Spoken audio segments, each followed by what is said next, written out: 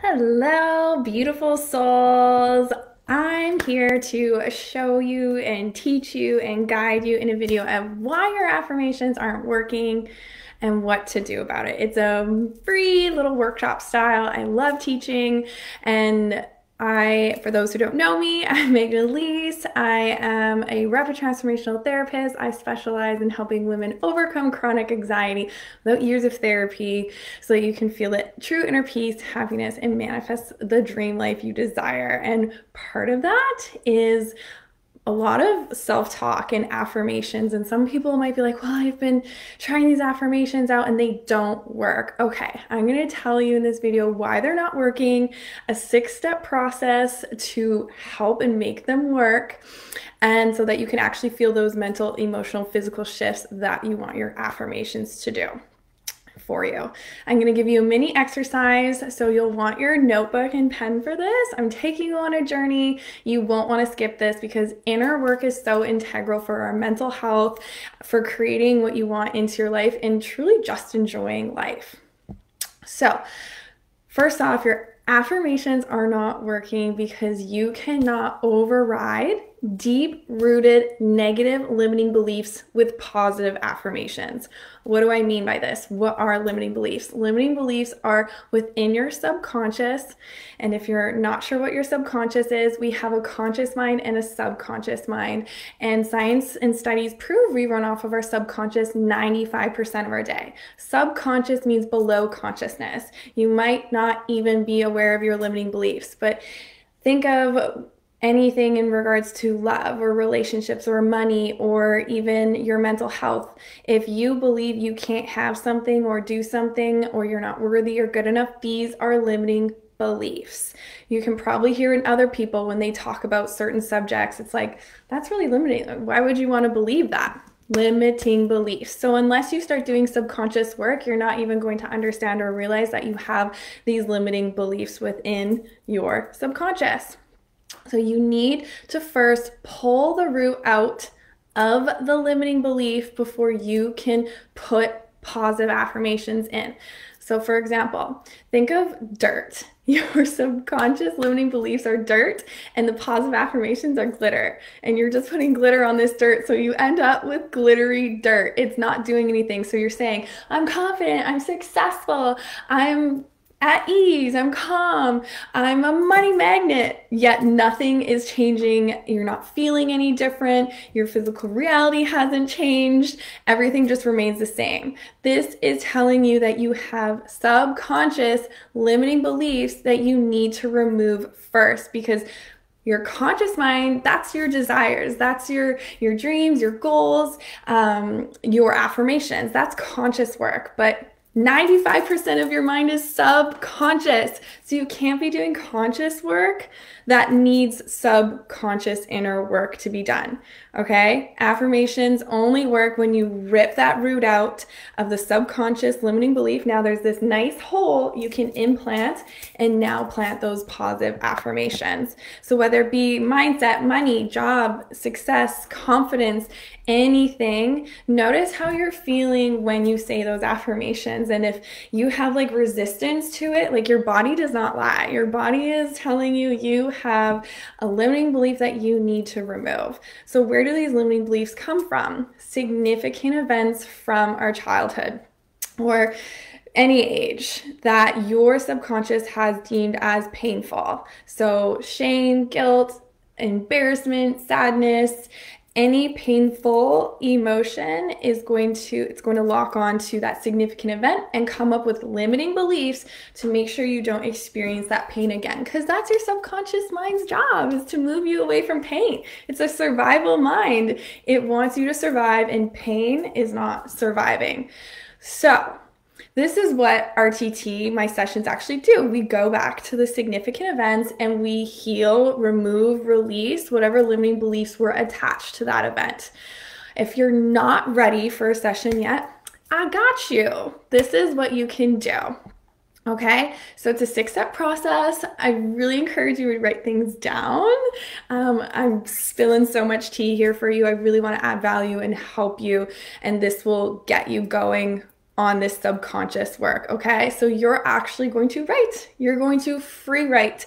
I want you to not pick up the pen because if you pick up the pen, now your conscious mind is trying to think of answers, right? So it's not thinking, your thinking mind is your conscious.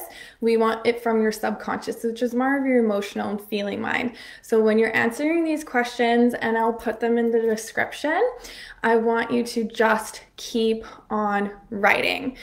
And again, now this is coming from your subconscious, and you're going to really understand where this limiting belief is coming from, and you can pull the root out.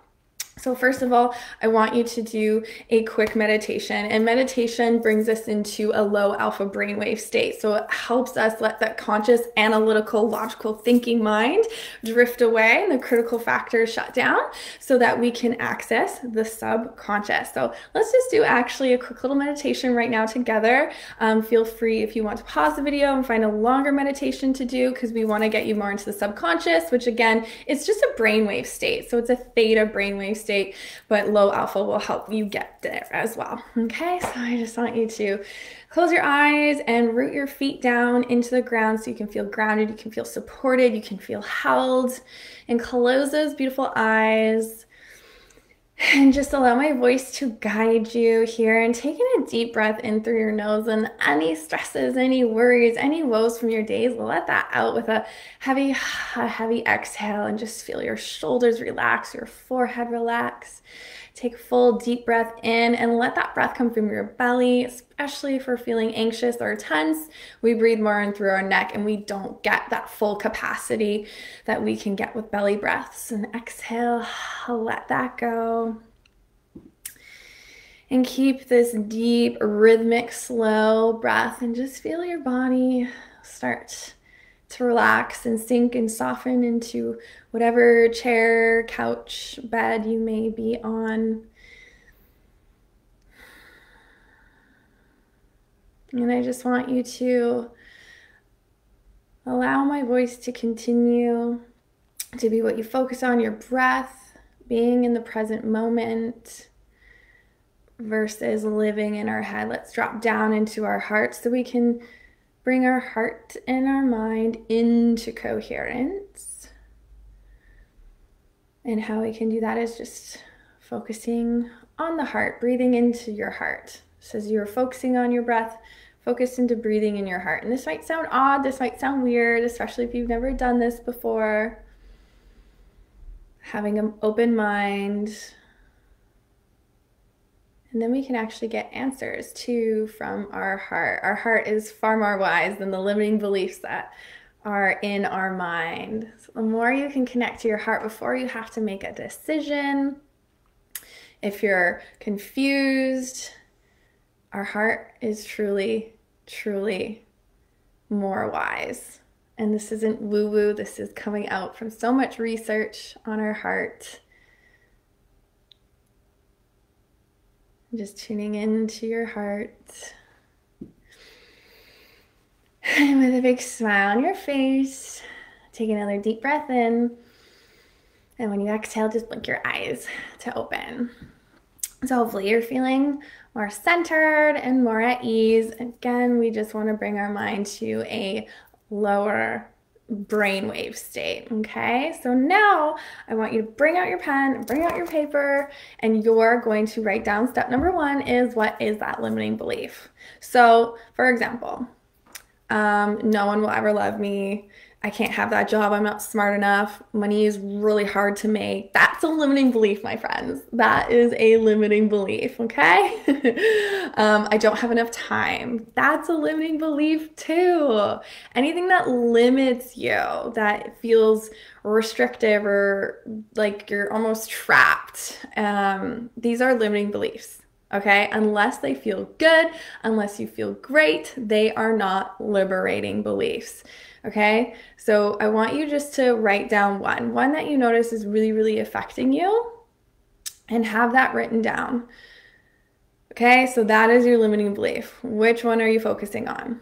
Now, number two, is it really your belief? Is it really your belief that I'm gonna go with um, I'm not good enough? Because this one I find with my clients with anxiety, they all have this limiting belief that I'm not good enough. And that creates a lot of anxiety because I'm not good enough for this job. I'm not good enough for this relationship. I'm not good enough to leave my house. I'm not good enough to da da da da da, right? It shows up a lot in in every area of your life. So is this really your belief or did someone tell you this? Did a family member, did a teacher, did a friend not necessarily maybe say you're not good enough, but maybe you're not smart enough or you got broken up with somebody and then now you're like, well, I'm not good enough because they broke up with me. Like, is this really your belief? Okay.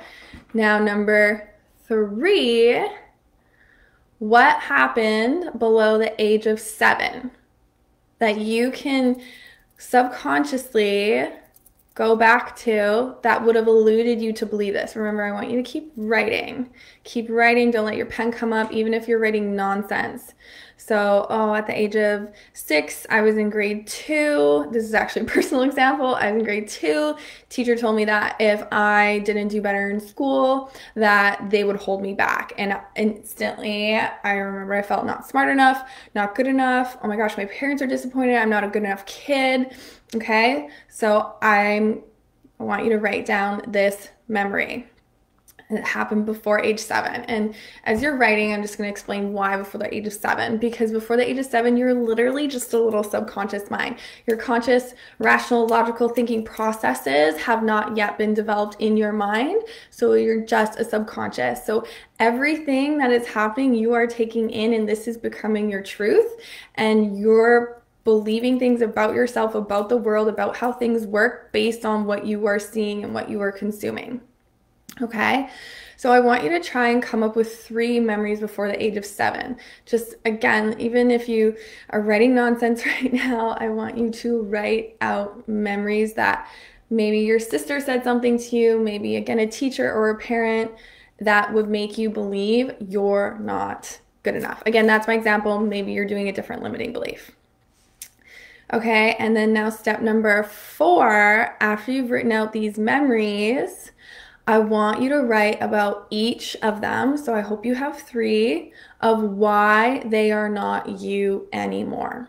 Why is that not you anymore? So, for example, my memory, I would write, I am not six years old anymore just because my teacher said that I wasn't doing a good enough job in school doesn't mean that is my truth now. Now I'm an adult.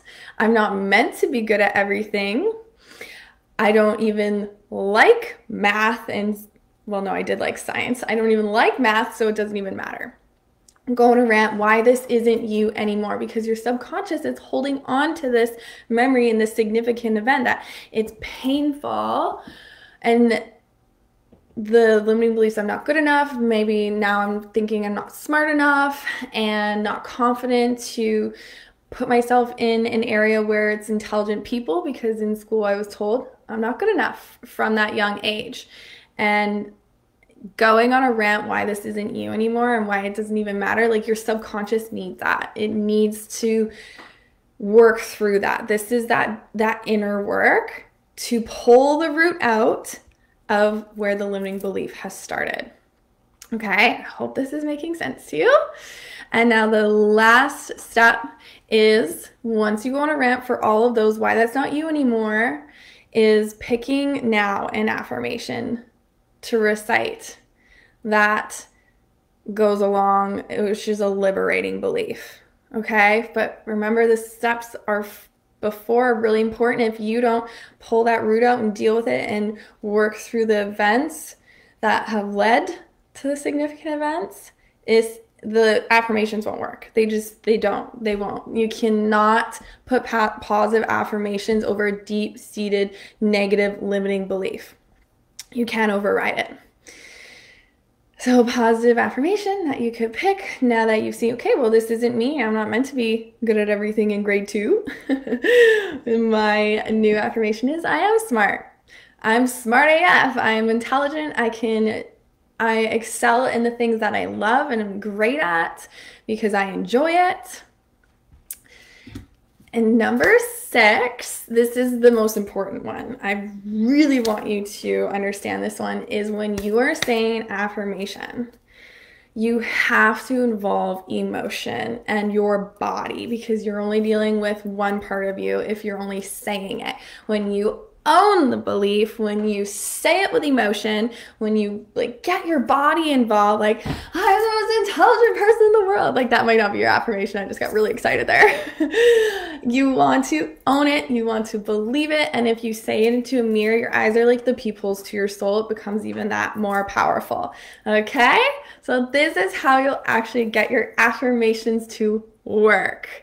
Dun, dun, dun. So again, that is a very powerful exercise to go through and to do. Kind of gives you a little taste of how I work with clients. We definitely go much deeper and a longer process, and I guide them through it. But again, this is a good start for you. Inner work, inner work is so, so integral for your mental health, for your mindset, for you feeling good, and for manifestation. It really all ties in together.